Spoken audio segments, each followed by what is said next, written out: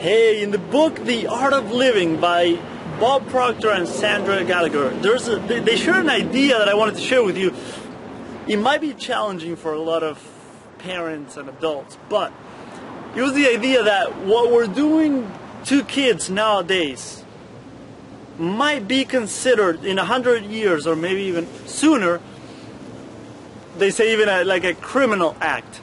And what they talk about is like when it comes to imagination and creativity, right? Think about a kid in class when their their imagination's running wild and they're thinking about things and they get panic, punished, right? They get punished, they get told stop doing that, pay attention, this is what you have to do. And think about all the things that we do to kids when they simply don't behave the way we want them to, the way we expect them to behave, right?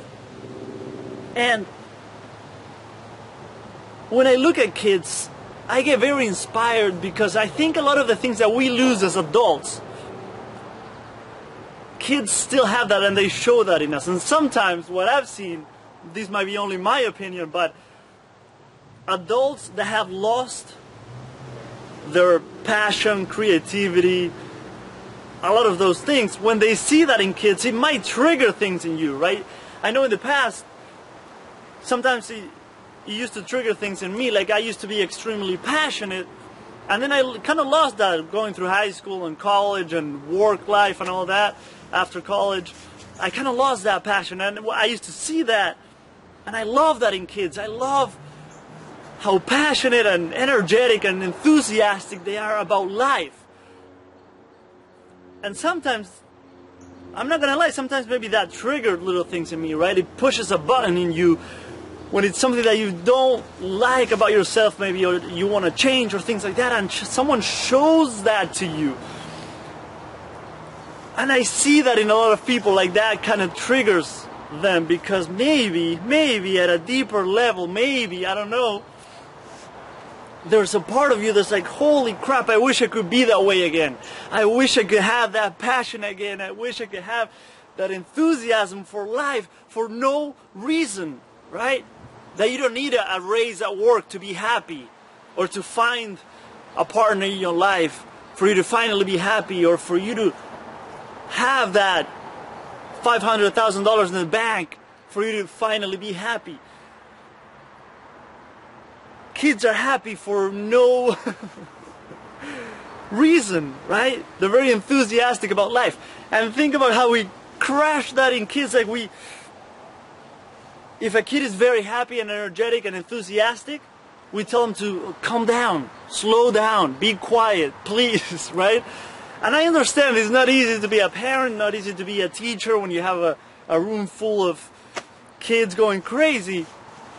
But what if we can put ourselves in their shoes a little more and think like, wow, like that's so beautiful. It's so beautiful and inspiring to see that in a person, in a human being, in a tiny little person, so much happiness, so much enthusiasm, so much passion for life, right? I think if we can go back to that ourselves, right? I believe the more we do that ourselves, the more we actually maybe enjoy that from other people.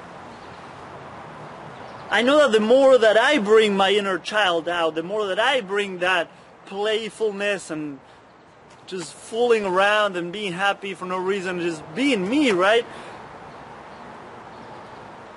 That kind of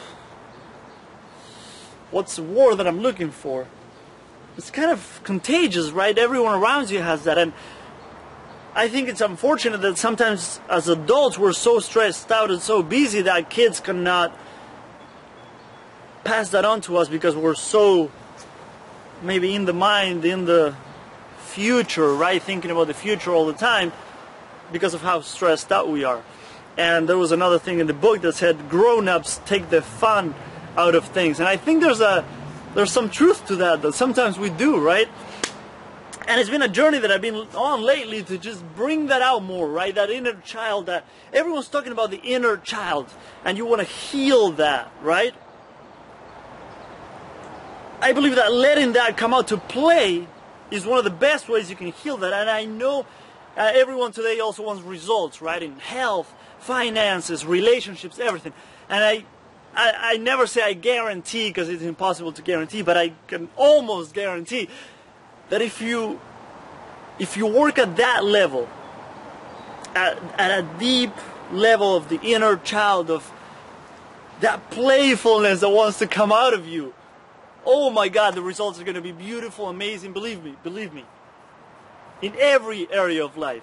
And so I just wanted to share that idea with you so that maybe you can look at the kids in your life and realize like, wow, maybe I could learn from them. Maybe I can be more like them even, right? Be more playful and just laugh, smile, sing, dance, run around, do whatever the hell you want to do, but just bring that inner child out a little more to play. Believe me, it's going to be amazing.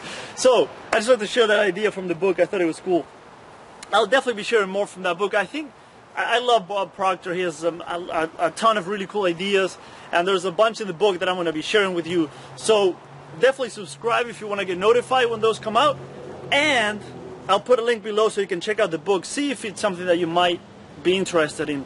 Um, just like read some reviews, see if it resonates with you, see if you want to check it out. I think some of the ideas are very helpful. So I hope that helps. More coming soon. Have a beautiful day. See you soon.